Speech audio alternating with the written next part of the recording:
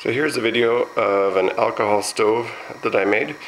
It's uh, made from a 250 ml Coke bottle that's uh, an aluminum bottle. It's pretty small and uh, as you can see there's some grooves cut in the bottom to let the fuel go through. Some vent holes in the sides to avoid any buildup of pressure. And I'm going to boil some water and show how fast this thing can boil water.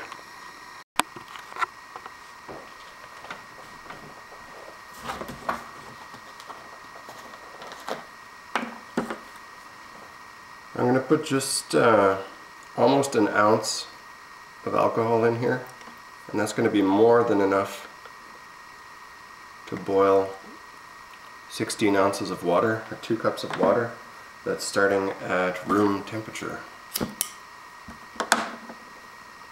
Takes a minute for it to blossom out. Hopefully I don't light my cutting board on fire.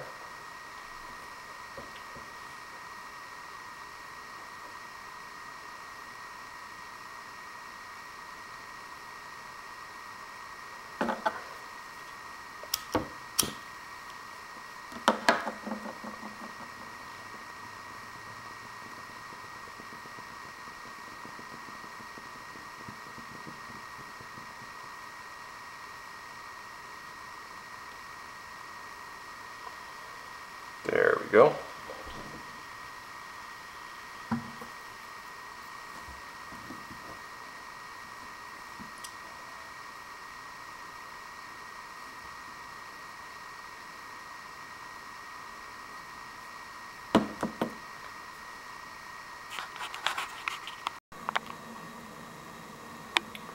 So just over seven minutes and an ounce of fuel and we're just about to come to a rolling boil.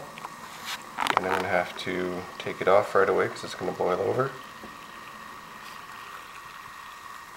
And just about out of fuel. So there we go.